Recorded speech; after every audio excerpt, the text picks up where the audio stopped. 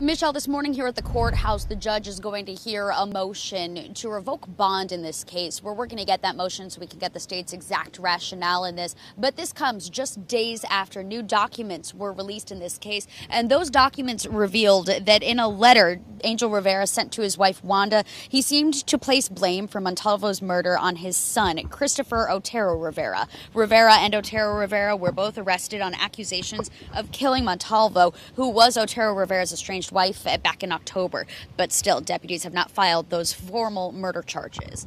Those new documents also include an account from Nicholas Rivera from that day. He is Otero Rivera's brother. Nicholas Rivera claims the father and son were with Montalvo in the garage at the home that's near St. Cloud. Montalvo was there to drop off her son, according to those documents. Nicholas Rivera says he later saw her dead by the garage and that night saw Angel Rivera using an excavator and cleaning a push cart. His bond hearing is set for 9 o'clock this morning. We'll let you know what the judge decides. We're reporting live in Osceola County, Hadass Brown, WESH 2 News.